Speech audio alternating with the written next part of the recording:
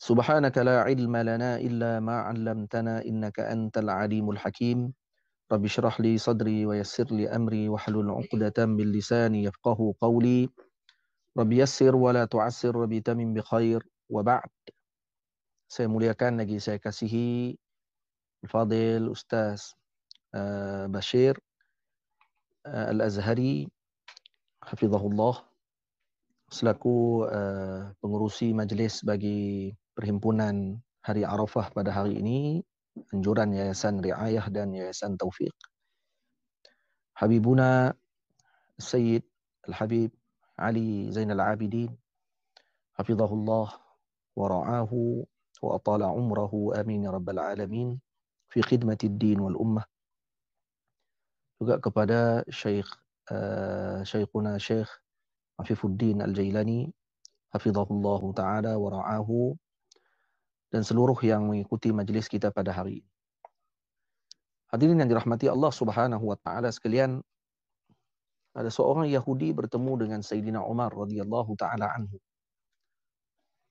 Lalu Yahudi ini berkata kepada Sayyidina Umar, "Ayatun fi kitabikum law nazalat alaina ma'syar al-yahud lattaqadna hadha al-yawm 'ida. Satu ayat di dalam uh, kitab kalian, yakni Al-Quranul Karim. Yang kalaulah diturunkan kepada kami golongan Yahudi, maka kami akan jadikan hari tersebut sebagai hari raya kami. Maka Sayyidina Umar radhiyallahu taala anhu mengatakan kepada Yahudi tersebut, apakah hari tersebut? Maka kata uh, lelaki tadi, hari tadi adalah uh, bukan ditanya kepada Yahudi tersebut apa ayat yang kamu maksudkan maka Yahudi tadi mengatakan bahawa ayat tersebut adalah Allah Subhanahu wa taala berfirman, "Al-yawma akmaltu lakum dinakum wa atmamtu 'alaikum ni'mati wa raditu lakum al-Islam madina." Maka Sayyidina Umar radhiyallahu taala anhu menjawab, "Qad 'arafna dhalika al-yawm." Kami tahu hari tadi hari apa. "Wal makan alladhi nazalat fihi 'ala Rasulillah sallallahu alaihi wa alihi wasallam wa huwa qa'imun bi Arafah bi yaumil Jumu'ah. Kata beliau saya tahu hari tadi hari apa dan di tempat mana Rasulullah sallallahu alaihi wa alihi wasallam berkhutbah pada hari tersebut. Hari diturunkan ayat tadi adalah hari Arafah iaitu di tempatnya Arafah dan kemudian pada hari Jumaat dan ini menunjukkan kepada kita bahawa hatta Yahudi sendiri pun memandang bahawa hari Arafah ini adalah hari yang berkat, hari yang ditinggikan oleh Allah Subhanahu wa taala. Karena mereka melihat kepada maksud ayat Allah Subhanahu wa taala al-yauma akmaltu lakum dinakum wa atmamtu alaikum ni'mati wa raditu lakumul Islam madina. Hadirin semua, para sahabat gembira ketika mana ayat ini diturunkan oleh Allah Subhanahu wa taala melainkan Sayyiduna Abu Bakar radhiyallahu taala anhu karena kata beliau tidak ada sesuatu yang sempurna melainkan setelahnya pasti akan ada kekurangan yaitu akan wafatnya Sayyidil Wujud Sayyidina Rasulullah sallallahu alaihi wa alihi wasallam 80 hari kata Al-Imam As-Safuri radhiyallahu taala anhu di dalam kitabnya Nuzhatul Majalis 80 hari kemudian baginda Rasul sallallahu alaihi wa alihi wasallam dijemput ila rafiqil a'la. Hadirin yang dirahmati Allah Subhanahu wa taala sekalian. Hari ini adalah hari yang barakah. Ha? Hari yang disebutkan oleh sebahagian para ulama sebagai yaum tajaddudil fitrah. Hari pembaharuan fitrah bagi seseorang. Hari yang mana Allah Subhanahu wa taala jadikan di dalamnya sebagai hari untuk kita memuji Allah Subhanahu wa taala. Yaumus sana. Karena hari ini hari Islam disempurnakan oleh Allah Subhanahu wa taala. Hari agama Allah Subhanahu wa taala disebutkan di dalam Al-Quran Al-Yawma Akmaltu Lakum Dinakum. Dan hari ini adalah hari yang mana kita dituntut untuk membanyakkan pujian kepada Allah Subhanahu wa taala, memuji Allah Subhanahu wa taala, mengucapkan syukur dan tahlil, tahmid, tasbih kepada Allah Subhanahu wa taala.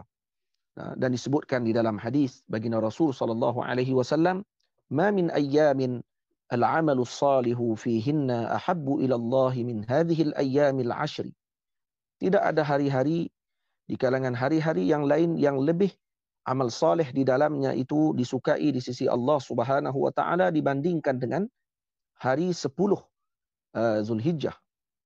Faqalu ya Rasulullah walal jihadu fi sabilillah. Para sahabat bertanya kepada Sayyidina Rasul, adakah jihad di jalan Allah taala juga tidak melebihi hari-hari tersebut? Maka baginda Nabi menjawab, walal jihadu fi sabilillah illa rajulun kharaja bi nafsihi wa malihi falam yarji' min dhalika bi syai'. Hadirin semua, dalam hadis ini baginda Rasul meletakkan qaid ataupun ikatan kepada jihad yang lebih mulia daripada hari 10 ini adalah dengan syarat dia balik daripada jihad tersebut tanpa membawa apa-apa pun. Dia keluar dengan jiwanya, dengan hartanya dan dia tidak kembali melainkan dengan mati syahid. Maknanya jihad akan melebihi hari ini, hari uh, ayyamil ashr bila mana lelaki tadi pulang tidak pulang lagi daripada jihad tadi. Maksudnya dia mati dalam keadaan syahid di jalan Allah Subhanahu wa taala. Tetapi hari ini diletakkan dengan itlak oleh Nabi sallallahu alaihi wasallam. Hari ini disebut oleh baginda Rasul dengan kemuliaan tanpa diletakkan syarat. Malah disebutkan bahawa hari 10 ini dan salah satunya adalah hari ini iaitu hari yang paling mulia dibandingkan dengan hari-hari yang lain. Dan hari yang mana telah disebutkan dengan kemuliaannya menjadi syahadahnya baginda Nabi sallallahu alaihi wa alihi wasallam dan syahadahnya Allah Subhanahu wa taala di dalam Al-Quran tentang kemuliaan hari ini.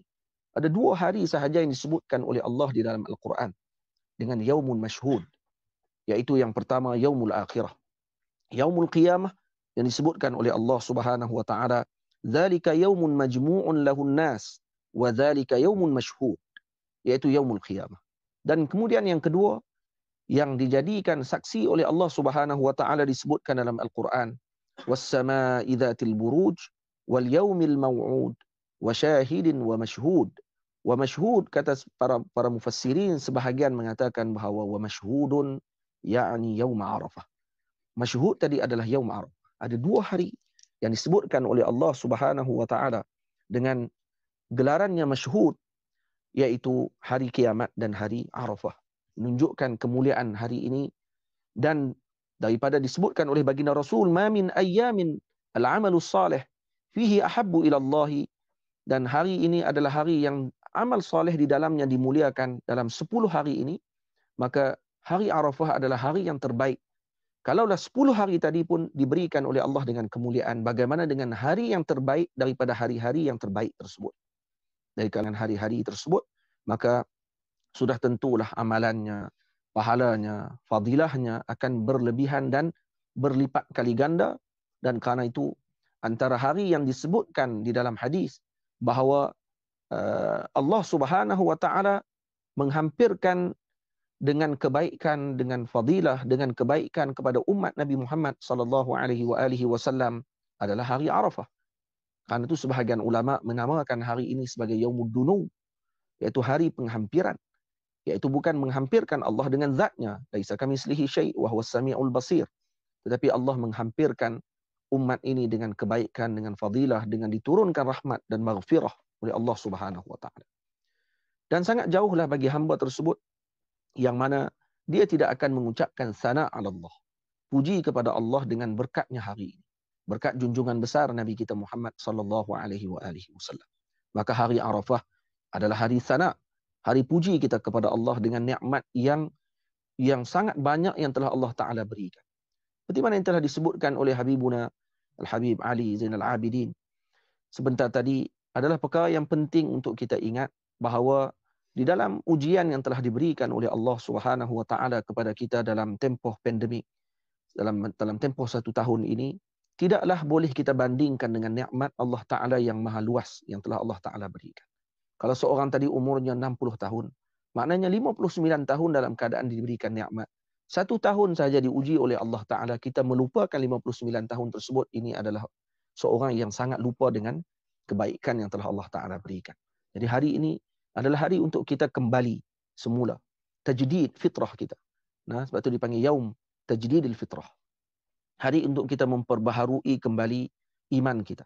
Hari untuk kita memperbaharui bai'ah kita dengan agama Allah Subhanahu wa taala agar kita akan sentiasa tetap teguh dengan agama Allah Subhanahu wa taala tidak akan goyah dengan ujian yang diberikan oleh Allah sebaliknya ujian hanya satu sahaja di dunia di akhirat nanti akan diberikan dengan nikmat Allah Subhanahu wa taala dengan nikmat yang pelbagai bagi orang-orang yang sabar dengan ujian tersebut. Hari Arafah juga adalah yaumul doa. Hari untuk kita berdoa kepada Allah. Afdalud doa, khairud doa, doa yaumi Arafah. Sebaik-baik doa, semulia-mulia doa adalah doa pada hari Arafah. Disebutkan hari Arafah, tidak disebutkan Arafah. Tidak disebutkan afdalud doa, doa fi Arafah tapi disebutkan afdalud du'a atau khairud du'a du'a yaumi arafah maknanya diberikan kelebihan pada hari arafah ini bukan hanya yang berada di arafah secara khusus ya mereka mempunyai kelebihan yang luar biasa. Tetapi diberikan dengan uh, keluasan kepada seluruh umat Nabi Muhammad yang tidak mampu untuk sampai ke arafah. Dan ini dalil dan bukti kepada luasnya karam Allah Subhanahu wa taala kepada umat Nabi Muhammad sallallahu alaihi wa alihi wasallam. Tidak dikhususkan kepada ahli Arafah sahaja mendapatkan kemuliaan tersebut sebaliknya kepada seluruh umat Nabi Muhammad yang bertemu dengan yaum Arafah yang mengambil peluang pada yaum Arafah maka mereka juga akan mendapatkan hari tersebut. Maka bila mana Nabi mengatakan sebaik-baik doa pada hari Arafah maka doa apa yang kita nak minta kepada Allah dalam hari Arafah ini? Maka kata Sayyidina Al-Imam Ibn Atta'illah As-Sakandari radhiyallahu taala anhu wa ardah di dalam kitabnya yang agung yang mulia Hikam Ibni Athaillah Sakandari khairu ma tatlubuhu minhu ma yatlubuhu minka. Sebaik-baik yang kamu minta daripada Allah Subhanahu wa taala ma yatlubuhu minka. Apa yang diminta oleh Allah kepada. Khairu ma tatlubuhu minhu. Sebaik-baik yang kamu nak minta kepada Allah apa? Ma yatlubuhu minka. Dengan maksud yang lain khairu ma tatlubuhu min Allah atau khairu ma tatlubuhu min Allah mallahu yatlubuhu minka. Apa yang kamu nak minta dengan Allah terbaik adalah apa yang Allah minta kepadamu. Allah minta untuk kita ini menjaga iman kita. Maka kita minta kepada Allah untuk menjaga iman. Allah minta kepada kita untuk kita menambahkan ilmu. Maka kita minta kepada Allah untuk ditambahkan ilmu. Allah minta kepada kita untuk diberikan kepada kita afiah dunia dan akhirah. Maka kita minta kepada Allah dengan perkara tersebut. Al-Imam Al-Junaid radhiyallahu taala anhu bermohon kepada Allah Subhanahu wa taala dengan doa yang agung kata beliau Allahumma ja'al ghayata qasdi ilaika ma huwa lak wa la taj'al qasdi ilaika ma atlubuhu mink apa doa Sayyidina Al-Imam Junaid radhiyallahu taala anhu Sayyidut Taifah Kata beliau, Allahumma ja'al ghayata qasdi, Ya Allah, jadikan penghujung kepada tujuanku, ilaika ma huwa lak. Apa yang aku minta. Tujuanku yang aku pinta ini, Ya Allah, ma huwa laka, yang kamu ingin beri kepada aku, Ya Allah. Apa yang kamu minta kepada aku, Ya Allah. Wala taj'al qasdi ilaika, dan jangan jadikan apa yang aku, keinginan-keinginanku tadi, ma'atlubuhu minka, yang aku minta kepadamu, Ya Allah. Karena tu kalau kita ingin meminta sahaja dengan apa yang kita ingin minta, tak tentu perkara yang kita minta tadi adalah perkara yang terbaik di sisi kita sendiri. Maka kita minta apa yang terbaik yang telah Allah Ta'ala tentukan kepada kita, maka sudah tentu perkara tadi akan mendapatkan yang terbaik bagi kita. Karena itu hamba yang bersyukur kepada Allah. Apa sahaja yang diberikan oleh Allah kepadanya, maka itu adalah yang terbaik kepadanya pada ketika itu. Maka dia akan menjadi hamba yang bersyukur hamba yang sentiasa meletakkan bahawa yang diletakkan oleh tuannya itulah yang terbaik tidak ada yang terbaik melainkan perkara tersebut maka ini hamba yang akan diberikan nikmat. La in syakartum la azidannakum wa la in kafartum inna azabi la syadid. Wa qalilun min ibadi asyakur sangat sedikit di kalangan hamba-Ku yang bersyukur kepada Allah Subhanahu wa taala. Karena itu maqamus syukr pada masa diberikan ujian adalah masa yang sangat berat. Masa yang paling Uh, perkara yang paling sukar untuk dilakukan oleh seseorang. Moga-moga kita termasuk di kalangan hamba-hamba yang bersyukur dan kita bersyukur Allah Subhanahu wa taala mengumpulkan kita pada hari ini dengan para uh, para guru, dengan para muhibbin, walaupun dengan suasana yang ada pada ketika ini masih lagi kita dikumpulkan untuk mengingati Allah Subhanahu wa taala pada ketika ini. Amin ya rabbal alamin. Dan hari Arafah adalah yaumus siyam, hari untuk kita berpuasa disebutkan oleh Nabi sallallahu alaihi wasallam siyamu yaumi arafah ahtasibu ala Allah an yukaffira as-sanata allati qablahu was-sanata allati ba'dah. Puasa pada hari Arafah aku mengira kata Nabi sallallahu alaihi wasallam. Kiraan Nabi adalah dengan makna yakin. Saya yakin Allah Subhanahu wa taala mengampunkan dosa yang sebelum ini, setahun sebelumnya, yakni sebelum Yaum Arafah dan setahun setelahnya. Kenapa? Karena hari, hari Arafah adalah hari yang berada di, di tengah-tengah di antara dua hari raya. Setelah hari raya Aidil Fitri dan sebelum hari raya Aidil Adha. Dan berada pada penghujungnya bulan. Penghujungnya tahun. Maka Nabi saw menyebutkan dengan kelebihan tadi agar kita tidak mengabaikan. Nah, yang tidak berpuasa membanyakkan dengan zikrullah, dengan membanyakkan tahlil, mengucapkan la ilaha illallah wahdahu la syarikalah lahul ham yuhyi wa yumit biyadihi khair wa huwa ala kulli syai'in qadir yang ini adalah zikir ataupun perkara yang terbaik yang disebutkan oleh Sayyidina Rasul sallallahu alaihi wa alihi wasallam dan diberikan panduan kepada umat dengan perkara tersebut. Hadirin yang dirahmati Allah Subhanahu wa taala sekalian, Yaum Arafah, Yaumus Sana. Yaum Arafah, Yaumud Du'a, Yaumu Arafah, Yaumu Siyam. Sayyidina Al-Imam Muhammad Ibn Al-Munkadir radhiyallahu taala anhu suatu hari disebutkan di dalam sebahagian kitab para ulama telah uh, menceritakan bahawa atau diceritakan bahawa beliau telah melaksanakan 33 kali haji. 33 kali haji tersebut dilakukan oleh beliau dan satu hari ketika mana haji yang terakhir beliau haji yang ke-33. Beliau berada di Arafah dan berdoa kepada Allah Subhanahu wa taala, Allahumma innaka ta'lamu anni waqaftu fi mawqifi hadha 33 waqfatan.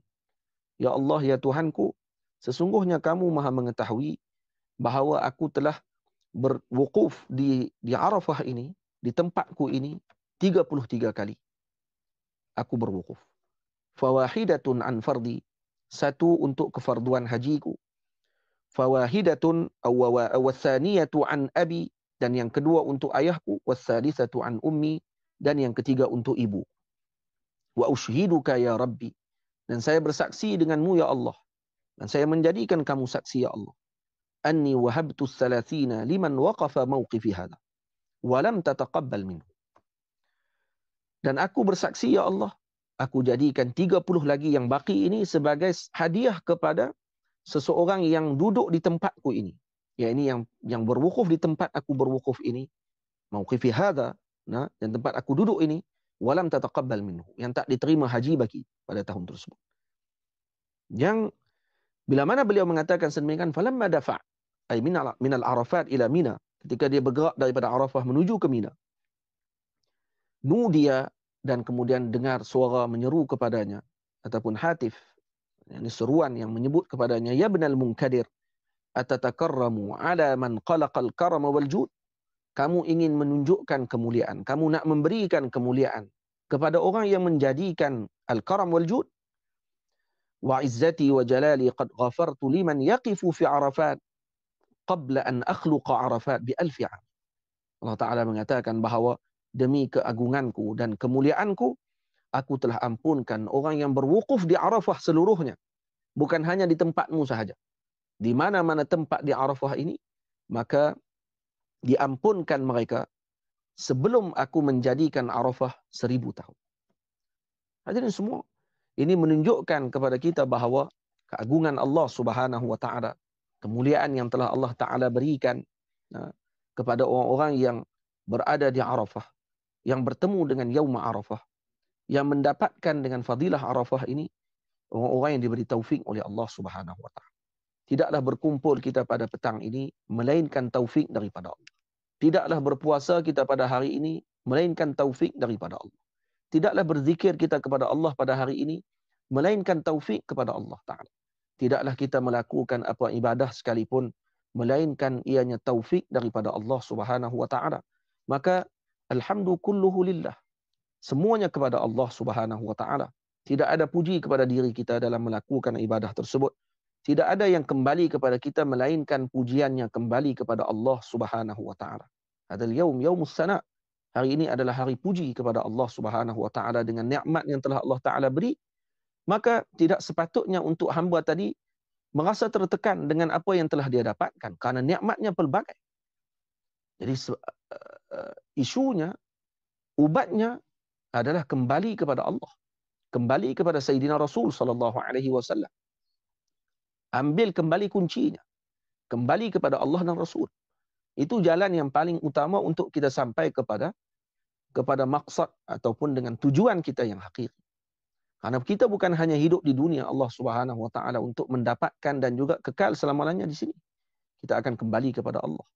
Yang bijak orang yang kembali kepada Allah Subhanahu Wa Taala yang sentiasa mendekatkan dirinya kepada Allah yang tidak leka dan lalai dengan apa yang telah diberikan nikmat oleh Allah Subhanahu wa taala dan tidak akan mencela dengan ujian yang diberikan oleh Allah. Karena seorang tidak akan dikasihi melainkan dia akan diuji oleh Allah Subhanahu wa taala. Kekasih untuk melihat bahawa kekasihnya tadi bersama dengannya dan tidak akan meninggalkannya maka dia akan menguji.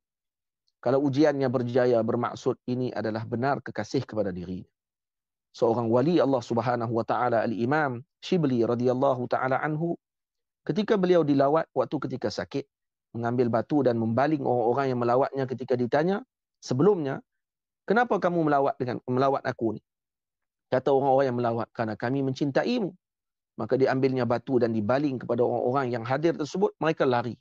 Kata dia, adakah orang yang mengasihi seseorang lari daripada kekasihnya?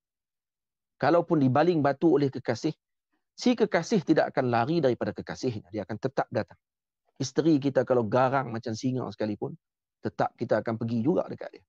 Macam itulah seorang yang mengasihi seseorang, dia tidak akan meninggalkan kekasihnya sama sekali. Sebaliknya dia akan mendekati kekasihnya tersebut dan tidak akan termakan dengan ujian tersebut dengan makna ianya akan tenggelam dan kemudian menyalahkan kekasihnya tersebut. Jadi uh, maqamul muhibbin, maqamul hub, kedudukan hub ini adalah kedudukan yang besar. Karena itu Nabi mengatakan, Anta ma'aman ahbabta. Kamu bersama dengan orang yang kamu kasihi. Maqamul hub ini maqam azim. Karena dengan cinta sahaja, seseorang tadi boleh berada semaqam dengan orang yang dicintai. Hanya dengan hub. Azim. Nah, karena itu kalau seseorang tadi mencintai Allah subhanahu wa ta'ala, cintaannya tidak boleh hanya dia ungkapkan dengan lidahnya sahaja. Kena dengan amal. Seorang yang mencintai Rasulullah sallallahu alaihi wasallam tidak boleh hanya mengungkapkan dengan lidahnya semata-mata, kena dengan amal. Kata Nabi sallallahu alaihi wasallam, "Allimu auladakum ala thalathi khisalin." Ajarkan anak kalian dengan tiga akhlak, hubbi nabiyyikum wa hubbi ahli baitihi wa tilawatil Quran. Ajarkan anak-anak kalian mencintai Rasulullah, mencintai ahli keluarga baginda Rasul sallallahu alaihi wasallam dan mencintai membaca dan menghafalkan Al-Quranul Karim kepada mereka. Hadirin yang dirahmati Allah, moga-moga berkat Yaum Arafah ini kita diampunkan oleh Allah Subhanahu wa taala, diberikan maghfirah, diberikan uh, keluasan kepada umat Nabi Muhammad sallallahu alaihi wasallam berkat junjungan besar Nabi kita Muhammad sallallahu alaihi wasallam. Jangan bimbang setiap ujian yang kita terima pasti akan ada pembukaannya oleh Allah taala yang besar khususnya kepada orang-orang yang sabar. Dan jazakumullah khairal jaza saya ucapkan kepada Sayyidil Habib Ali Zainal Abidin Al-Hamid atas jemputan yang telah beliau berikan kepada saya dan uh, moga-moga dengan ucapan dan juga perkara yang saya sampaikan pada pagi uh, pada petang ini uh, dengan apa ni semata-mata imtithalul amr menjalankan arahan dan juga uh, bukan jemputan sebenarnya sebaliknya menunaikan arahan tuan kepada kepada yang apa ni uh, mencintainya. Nah karena mencintai uh, Sayyidil Habib seperti mencintai Sayyidina Rasul sallallahu alaihi wasallam datuknya. Moga-moga Allah taala kumpulkan kita bersama dengan Sayyidil Wujud Nabi kita Muhammad sallallahu alaihi wasallam. Aku qouli hadza astaghfirullahal azim li wa lakum. Assalamualaikum warahmatullahi wabarakatuh